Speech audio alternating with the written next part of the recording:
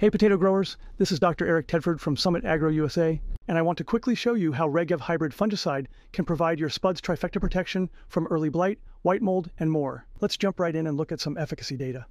In this early blight trial conducted by Dr. Jeff Miller in Idaho in 2024, the fungicide program that included Regev at the C and E timing with Miravis Prime at the D timing and ending with Bravo WeatherStik provided excellent early blight control. Dr. Miller also had white mold in the same trial, and that same Regev Miravis Prime program provided the best control of white mold in the trial.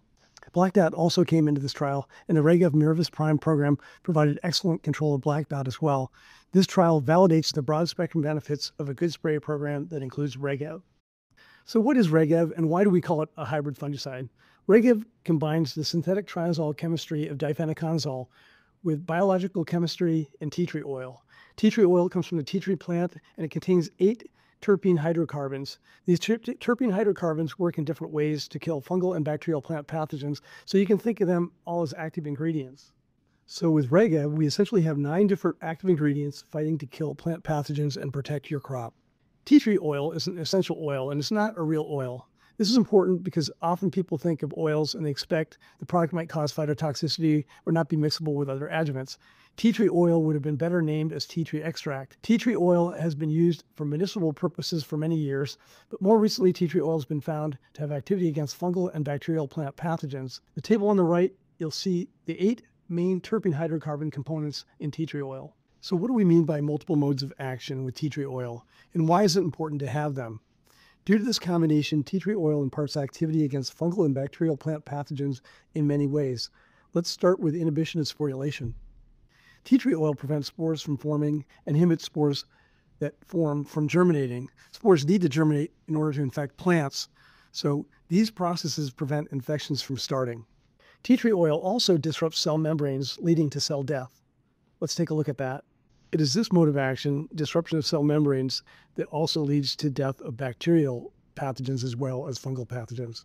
Cell wall disruption is a unique mode of action for fungicides because it leads to cell death of both bacterial and fungal cell walls. Very few fungicides have any activity against bacterial diseases. With this mode of action, in combination with other modes of action, Regev provides activity against both fungal and bacterial plant diseases.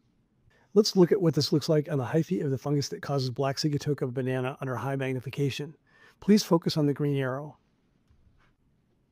Tea tree oil also inhibits respiration and ion transport as well as mycelial growth, therefore preventing sporulation, disease development, and further spread.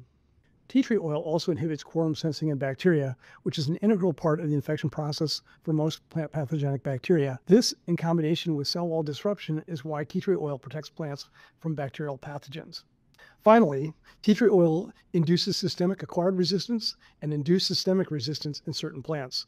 This provides additional disease protection by upregulating genes that help protect the plant. The Fungicide Resistance Action Committee, or FRAC, has designated tea tree oil as a BM01 classification. This is a classification for cell membrane disruptors, and more importantly, this is a different mode of action than a 3, 7, or 11 fungicide. Resistance risk for BM01 fungicides is low, so having a new chemistry mode of action provides an excellent new tool for growers who are concerned about fungicide resistance. Thank you for your attention. I hope you found this short podcast useful. I realize that I went over the data fairly quickly, and if you have any questions about Regev or any of our other products, please visit our website at summitagro-usa.com. Please always read and follow label directions. Thank you, and have a great growing season.